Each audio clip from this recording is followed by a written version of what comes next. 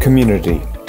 It is a word that is losing all meaning, and yet it is the fundamental pillar that gives our lives meaning. We at WAI believe that community is about shared beliefs. Our founder, Cyrus, believes in the redemptive power of connection.